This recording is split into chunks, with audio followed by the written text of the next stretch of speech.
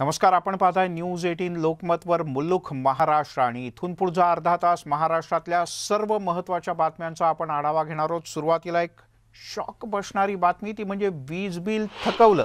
तर आता कनेक्शन कापणारच.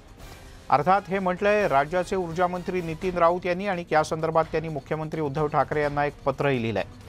थकीत देयकं वसूल करण्यासाठी राज्यभरात एक मोठी मोहीम राबवली जात असल्याचंही त्यांनी म्हटलंय. एवढंच नाही तर आता सध्याच्या वीज मंडळाच्या परिस्थितीचा विचार करता वीज बिल भरलेलं नसेल तर वीज पुरवठा खंडित करण्याशिवाय कोणताही पर्याय नाही असंही त्यांनी स्पष्टपणे नमूद केलं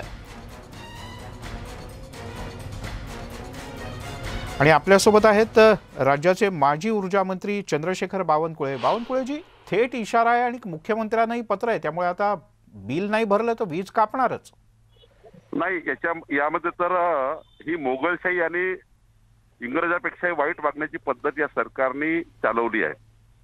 मागच्या सरकारच्या काळामध्ये पंचेचाळीस लक्ष शेतकऱ्यांना पाच वर्ष अठ्ठावीस हजार कोटीची वीज आम्ही दिली एकाची कनेक्शन कापलं नाही. कधी रस्त्यावरती स्ट्रीट लाइट बंद केलं नाही कधी पाणी पुरवठा योजना बंद केल्या नाही.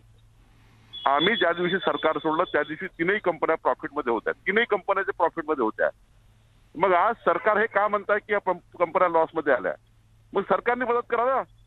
अर्थ खातं या कंपन्यांना मदत करत नाही आहे. पंधरा हजार कोटी रुपयाच्या वर अर्थ खात्याकडे महावितरणचे घेणे बाकी आहे. ग्रामविकासकडे घेणे बाकी आहे. नगर विकासकडे घेणे बाकी आहे. ते. पैसे जर महावितरणला दिले तर तुम्हाला कनेक्शन कापण्याची गरज पडणार नाही. तुम्हाला शेतकऱ्याचे कनेक्शन कापण्याची गरज पडणार नाही. तुम्हाला त्या ठिकाणी पाणी पुरवठा योजनेचे पैसे कनेक्शन कापण्याची गरज पडणार नाही.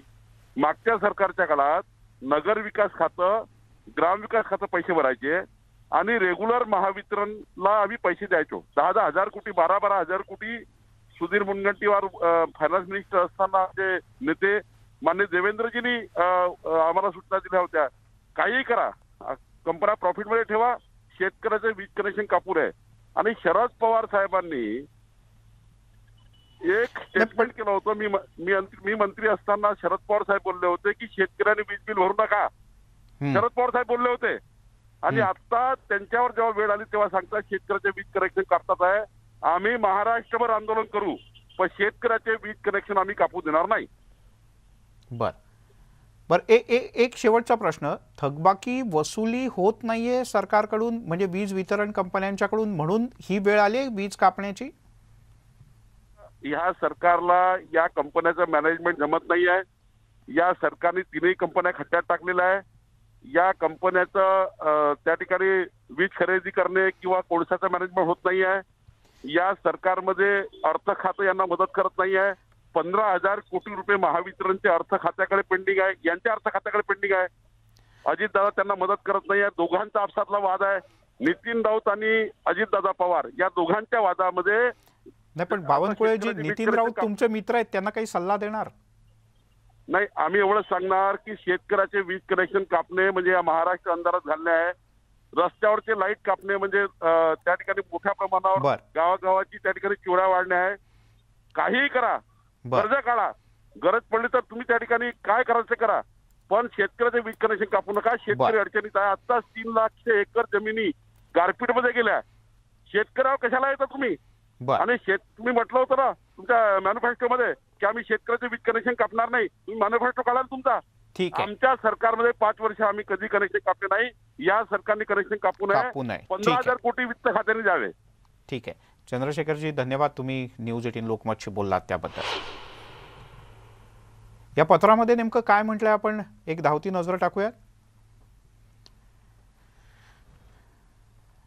राज्याचे ऊर्जा मंत्री यांनी हे पत्र लिहिलं आहे महावितरणकडून वीज कंपन्यांना वेळेत देणं देऊ शकत नसल्यामुळे त्यांच्या व्याजात भर पडून महावितरणची परिस्थिती आणखीन बिकट होत आहे.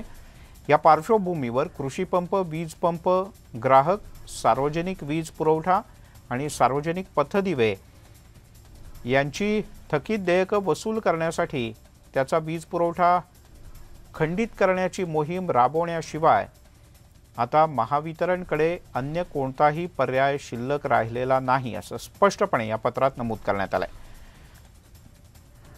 असं झाल्यास महावितरणवर पर्यायाने महाविकास आघाडी सरकारच्या विरुद्ध तसंच काँग्रेस पक्षाचा मंत्री म्हणून माझ्या विरुद्ध असंतोष निर्माण होण्याची शक्यता नाकारता येत नाही असंही त्यांनी या पत्रात नमूद केलं आहे